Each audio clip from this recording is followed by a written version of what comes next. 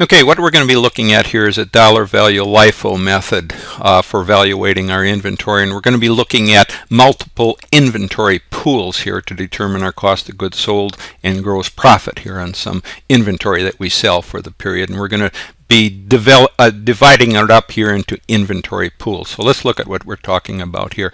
Uh, first for uh, this LIFO method, that's last in, first out uh, inventory method here where the last goods purchased or made are used first. And our example here is going to be based on uh, this, uh, these three items that we have for our inventory. We're going to establish separate inventory pools here for items A, B, and C here. We're going to have multiple inventory pools here. And uh, this first amount here represents our base year or beginning year uh, inventory here at 11x1 and what we're going to be just looking at is uh, one year here how we convert one year here from uh, in this case it's going to be from uh, uh, changing from a FIFO method here to a LIFO inventory method. So for our base year inventory or beginning inventory we have these specific quantities here for items A B and C and then we have specific prices here that we have uh, for our beginning inventory for each of those items here.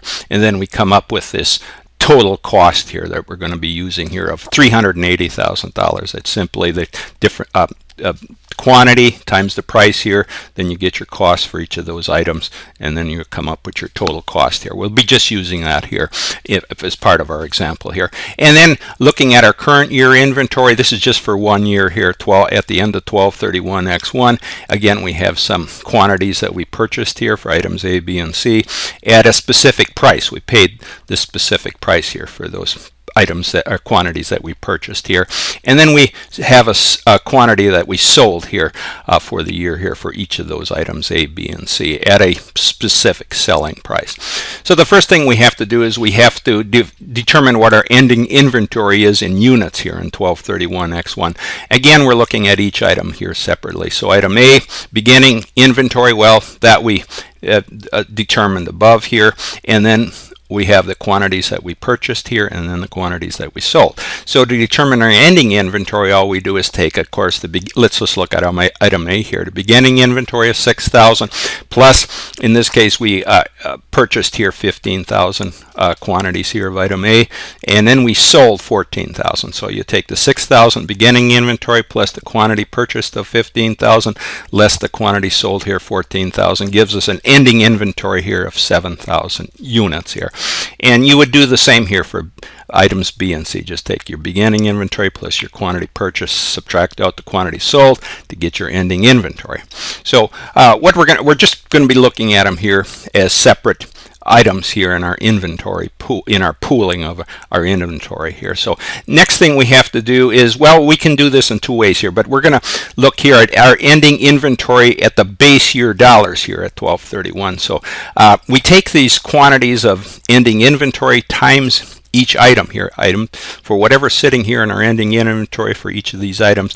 We take that times the price here. That was the beginning inventory price. That was sitting here on 11x1 or the beginning of the year here. So you take your quantity and ending inventory times that beginning price here. That gives you the cost here for that you would have for the uh, ending inventory base year dollars. That's an ending inventory base year dollars based on this be, uh, uh, ending inventory here at the uh, beginning of the year price per unit here. And you would do that for each item A, B, and C here. And then we'd have to determine our ending inventory in current year dollars. Again, 1231X1.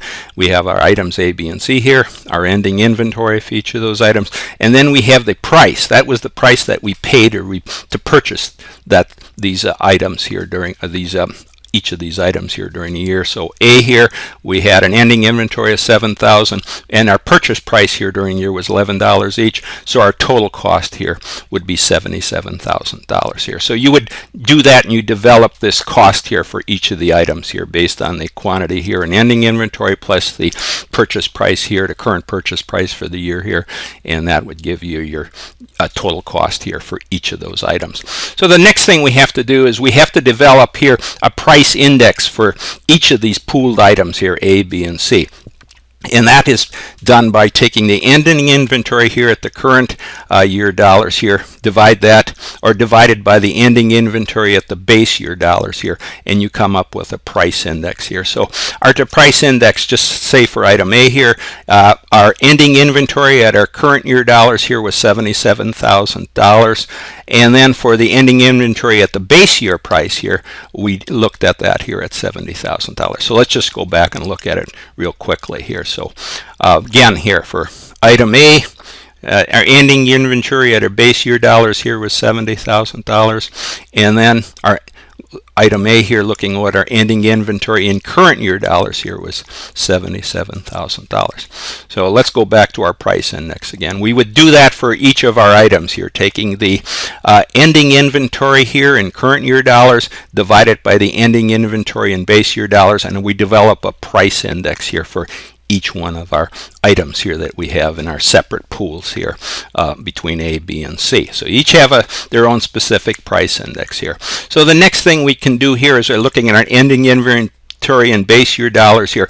And we'll look at it in just terms of using this price index here. We've already determined our cost. We can go up here and look at our ending inventory and base year dollars. We determined that what, what our cost was here based on the ending inventory and the beginning of the year price that we have is holding in in our beginning inventory for each of those items. But uh, we can confirm that here just by taking the end our taking our ending invent or our ending inventory at the current year uh, cost here looking at that in this case for item A it was $77,000 here.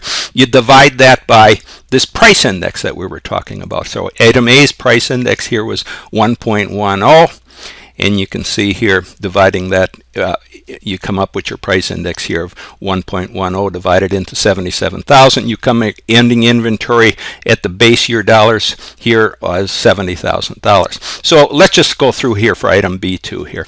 Item B our ending inventory here in the current year dollars was 120,000 divided here by the price index that we developed the 1.20 dividing that here out you get uh, ending inventory in the base year dollars of 100,000 here for item B here. And item C uh, again we had our ending inventory in the current year dollars of 350,000 divide that by our price index that we developed here of 1.25 uh, divide 350 by 1.25 and you're going to come up with $280,000 that's our ending inventory in our base year dollars here. So we calculated that in two ways here, going using our price ratio, basing on our ending inventory and our current year dollars here, or or we as we looked at it above, we just look at our ending inventory based on the beginning inventory cost for each of those items.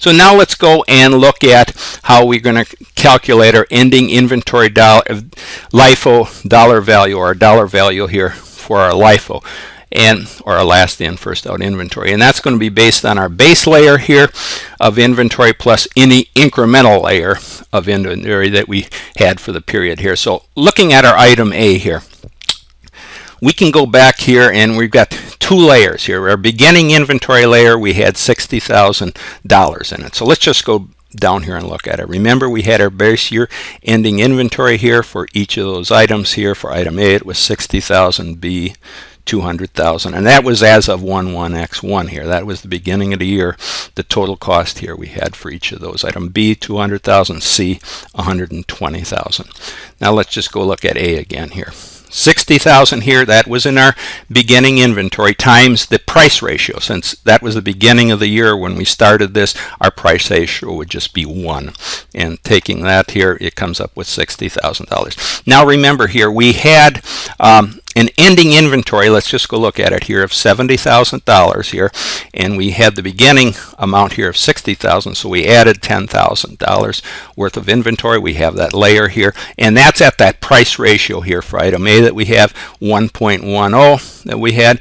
And you come times that amount out and you come up with $11,000 here for this layer of ending inventory for item A. Now for item B, this is a little different here. We're going to $100,000 uh, dollars here times the uh, beginning price index of 1 here. And that's reason we have that here, we have this $100,000 in our ending inventory base here, but we had a beginning inventory. We can go look at that here of $200,000. So here is our beginning inventory here of 200,000 and going up here our ending inventory and base year dollars here was 100,000. So uh, we've just got to account for we've we've lost some inventory here, $100,000 worth. So we just bring it back to the base year uh, index year of one. And then for uh, item C here, this is where we've got $120,000 uh, in our base year dollars. We go down here, our base year was 120,000. Uh, again, times um, one here for 120,000 and then the difference here we have $280,000 sitting in our ending inventory dollars here and we would subtract out our base amount of 120,000 that leaves 160,000 and then we would take that times the index here for item C price index 1.25 gives us $200,000 so summing all these amounts here uh, for items A B and C uh, the base amount plus the inventory layer that we added here. Our ending inventory here in dollars would be $491,000. Now that's the dollar value LIFO amount that we have to deal with. So let's go up and look at how we calculate our cost of goods sold. Here we take our base here, beginning inventory one, at 1-1, that was that $380,000 amount, and then we have our purchases here for the period here, and those were the quantities of purchase, uh, quantity that we purchased here times the purchase price here for the period here. That gives us our dollar amount here for each of those items A, B, and C. You sum those up, and we're going to get our uh, one million two hundred sixty-five thousand dollars. So adding that uh, beginning base year beginning inventory of three hundred eighty thousand dollars to this one million two hundred sixty-five thousand, we get our cost of goods available here for the year here was one million six hundred forty-five thousand dollars, and then we would subtract out our ending inventory here, our dollar value LIFO amount that we calculated here at four hundred ninety-one thousand dollars. That gives us our cost of goods sold here, one million one hundred fifty-four $4,000. Now for our gross profit here, all we take is our sales for the year here. Let's start with that here. That would be our revenue. So that was just the sales quantities times the sales price here for each unit and then we come up with the amount here for each items A, B, and C here, and then we would total those amounts here uh, for our sales. We come up with our total sales or revenue at $1,290,000. Then we would subtract out our cost of goods sold here. That's what we had uh, calculated up here, our cost of goods sold, uh, 1,154,000. Subtract that here from our sales for the period or our revenue for the year here gives us our gross profit here of $136,000. So this is just how we would, uh, uh, using these separate inventory pools here, how we calculate our gross profit and cost of goods sold based on these separate inventory pools that we work for. In this case, it was items A, B, and C.